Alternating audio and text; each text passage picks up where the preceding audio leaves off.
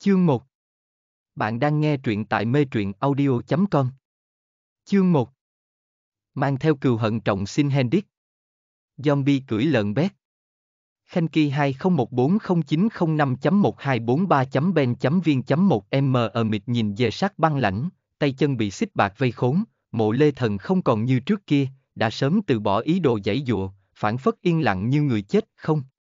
Hắn vốn chính là một người chết, một hoạt tử nhân, hắn không có nhịp tim, không có hô hấp, làn da của hắn trắng nõn mềm mại hệt người thường nhưng đau thương không thể làm tổn hại. Đôi mắt của hắn màu đen, cả tròng trắng mắt cũng tối đen, vẻ ngoài hắn như vậy, liếc mắt nhìn qua rất giống người thường, hết thảy không như những đặc thù thường thấy ở tang thi, đều không biểu lộ trên cơ thể hắn, hắn không phải người. Hắn không còn là người, hiện tại chỉ là một tang thi, thân thể bị tiêm vào một loại thuốc không biết tên có thể khắc chế sức mạnh của tang thi, cả người hắn lúc này vô lực, không còn thể dễ dàng hất văng mấy chục đội lực lượng an ninh, chỉ có thể trở thành con chuột bạch thí nghiệm bị nhốt trong phòng nghiên cứu đến cả thiên nhật địa hạ như thế nào cũng không biết, suốt 10 năm, nhớ tới mỗi ngày mỗi đêm bị tiêm vào đủ loại dược kỳ quái mà đau đớn, nhớ tới thân thể mình bị tách rời ra sao mà vạn. Lần thống khổ. Mộ lê thần hận đến thấu xương, đáng chết. Tất cả đều đáng chết. Chết đi, chết hết đi. Mộ lê thần nhắm mắt lại, biểu tình chết lặng, miệng chỉ theo thào được như vậy, hơn 10 năm trước, lúc tận thế bộc phát. Hắn là một trong nhóm người đầu tiên bị lây nhiễm virus, đơn độc nằm trong bệnh viện chờ đợi cái gọi là trị liệu, từ trong hôn mê tỉnh lại, mộ lê thần biết hắn cùng với mấy người kia đã trở thành quái vật ăn thịt người, chỉ là hắn có vài điểm bất đồng, vừa thức tỉnh đã là tang thi cao cấp có trí tuệ, sức mạnh và tốc độ so với tang thi thông thường cường đại hơn, còn lưu lại được ký ức lúc trước, hơn nữa có thể khống chế tang thi có đẳng cấp thấp hơn mình. Mộ Lê Thần lo cho người nhà và vị hôn thê của hắn, mặc kệ có bị người khác phát hiện thân phận mà giết chết, bất chấp nguy hiểm đi tìm bọn họ, còn một đường hộ tống bọn họ về phía Bắc, đến Z quốc, căn cứ B thị có số người sống sót cao nhất, hắn không dám đi vào, chỉ dám du đảng bên ngoài, khi bọn họ ra ngoài tìm vật tư thì lại đi theo bảo hộ, kết quả, mộ lê thần nhìn các loại dụng cụ bên ngoài dê sắt, đồng tử tối đen toát ra oán hận dày đặc, khuôn mặt tuấn lãng vốn đã tái nhật trở nên vặn vẹo. Ngay cả người thân cũng phản bội hắn thì vì cái gì mà hắn còn muốn quyến luyến nhân loại này, tuy biến thành tan thi nhưng hắn vẫn có suy nghĩ, cảm xúc của con người, vẫn mang cảm giác nhân loại chính hắn vẫn có, nhưng những thứ đó chỉ mang đến cho hắn cảm giác đau đớn tận xương cốt khi bị phản bội và vĩnh viễn trở thành vật thí nghiệm, hắn không phải là người, hắn là quái vật ăn thịt người. Chính ái nhân mà hắn vẫn che chở đã thốt ra những lời đó, mộ lê thần còn nhớ rõ lúc nữ nhân kia đem ánh mắt chán ghét nhìn về phía hắn, hắn thật hối hận, tại sao lúc ấy chỉ lo ổn định tâm tình mà không xông lên một nhát đem cô ta biến thành quái vật như mình, hắn lúc trước không hẳn là đứng về phía nhân loại, nhưng chỉ có tang thi mới là đồng loại của hắn. Mộ Lê Thần suốt 10 năm nay không phải là chưa từng thử đào thoát, nhưng bởi vì hắn lo lắng gia nhân sợ hãi chán ghét, nên kiên định không chạm vào một miếng thịt của nhân loại, không có năng lượng bổ sung, sức mạnh hắn ngày càng suy tàn, này hắn phát hiện, hắn có thể liên hệ với tang thi thủ lĩnh ngoài căn cứ thậm chí còn ra lệnh được cho luyện tại, sở dĩ sở nghiên cứu không có ai mang hắn tiếp tục làm thí nghiệm là bởi vì tình huống bên ngoài rất nguy cấp, Hắn không những ra lệnh cho tang thi ngoài kia tấn công căn cứ mà còn bắt đầu thiêu đốt hồn tinh, đem tinh thần lực bao trùm tất thảy, trong phạm vi ảnh hưởng của tinh thần lực, Tàn thi đều nhất loạt hướng tới bê thị đem người nuốt sạch, hồn tinh trong đầu hắn so với tinh thạch trong cơ thể tang thi bình thường có nhiều chỗ bất đồng, cho nên bác sĩ lý sở trưởng sở nghiên cứu đối với hồn tinh của hắn rất thèm muốn, thế nhưng hồn tinh trong đầu hắn lại tự động sinh ra một tầng phòng hộ, năng lượng, vì thế mà sút giảm nhưng vẫn chưa khô kiệt nên tầng phòng hộ vĩnh viễn sẽ không biến mất. Họ lý kia định mang mộ lê thần sẽ ra, chỉ cần hồn tinh còn trong đầu hắn thì thân thể hắn còn có thể tái sinh, nói cách khác, chỉ cần hồn tinh có đủ năng lượng, mộ lê thần chính là bất tử chi thân, mà hiện tại hắn vì hủy diệt căn cứ đã thiêu đốt hồn tinh, hắn cảm giác rất rõ ràng nguồn sức mạnh của hồn tinh phản phất trong cơ thể, nhưng mà quá ít, cơn mệt mỏi nhanh chóng kéo đến, nhưng như thế này thì đã sao? Hắn không có ước nguyện gì về cuộc sống này, hắn chỉ muốn báo thù.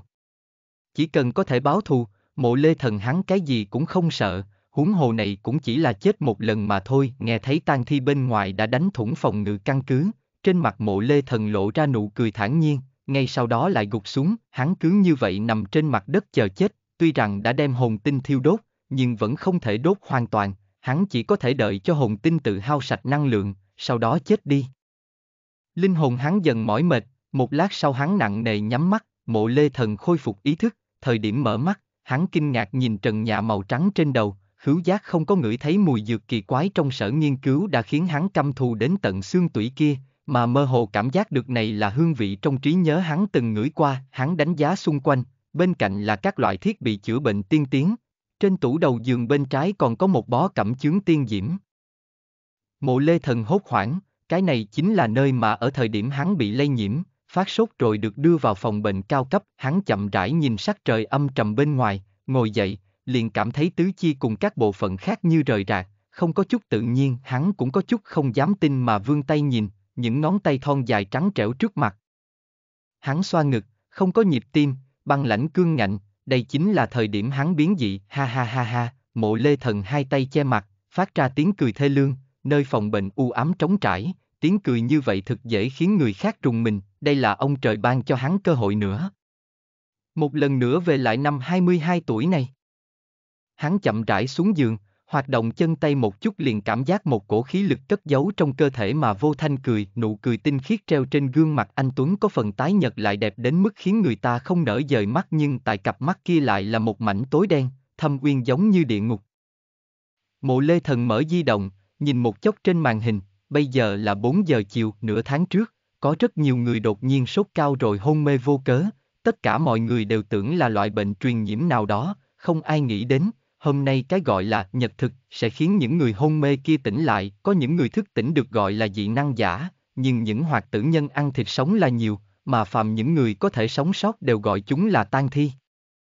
Mộ Lê Thần trước hết tỉnh lại một nhóm người, nhưng hắn cũng không phải dị năng giả, mà là tan thi hoàng, kiếp trước không biết bản thân có bao nhiêu năng lực đặc thù, có lẽ là do ý chí cường đại nên sau khi biến dị mới giữ lại được ý thức, Lúc ở sở nghiên cứu hắn có nghe qua bác sĩ Lý cùng với mấy người khác nhắn đến thân phận của hắn, hắn không bị dục vọng chi phối như tang thi thường, ánh mắt của hắn tối đen, hắn có lực uy hiếp đối với đám tang thi thông thường. Nói cách khác, hắn trời sinh là tang thi hoàng. Bác sĩ Lý luôn muốn hắn mất đi tự chủ và ý thức, rồi đem đào tạo thành một tang thi hoàng chỉ nghe theo lời mình, thế nhưng không có thành công, sau đó bác sĩ Lý lại đổi phương pháp, dùng gen của mộ lê thần hắn cấy vào người sống lại ra thứ có thực lực cường hãn như hắn nhưng không có tư duy, dễ dàng bị bác sĩ Lý khống chế, sai khiến quân đoàn tan thi chỉ là gã bác sĩ đó không biết, hắn tạo tan thi càng nhiều, giờ tử của hắn càng đến gần. Bởi vì dùng gen của mộ lê thân tạo ra tan thi, những mẫu thể đó sẽ nghe theo mệnh lệnh của hắn vô điều kiện kiếp trước, nếu không phải bác sĩ Lý dùng tài liệu kiến tạo đặc thù áp chế mộ lê thần vào phòng nghiên cứu, nếu không phải hàng ngày đều tiêm cho mộ lê thần hắn loại dược vô hiệu hóa sức mạnh của hắn thì trong lúc bọn họ đi chế tạo tan thi hắn đã có thể chạy đi, chỉ tiếc, phòng nghiên cứu quá mức chắc chắn. Mộ lê thần đem đồ của bệnh nhân đang mặc trên thân đổi thành quần áo thông thường. Lúc mặc vào tay chân có chút lúng cuốn. Hắn thật sự là lâu lâu lâu lắm rồi không có mặc quần áo, lúc ở sở nghiên cứu, bị đem đi làm thí nghiệm, bị chém đứt tay chân, mổ banh bụng là chuyện thường xuyên, trong mắt những kẻ điên kia, hắn chỉ là vật thí nghiệm không phải người, như thế nào có thể cho hắn mặc quần áo, vụng về khoác lên người bộ trang phục thông thường, mộ lê thần đứng trước gương lớn, nhìn người thanh niên tuấn lãng đang cười đến ôn nhu kia mà trong đôi mắt lại là một mảng băng lạnh tối đen, chỉ cảm thấy rất không chân. Thật! Hắn thật sự thoát khỏi cái nơi quỷ dị kia.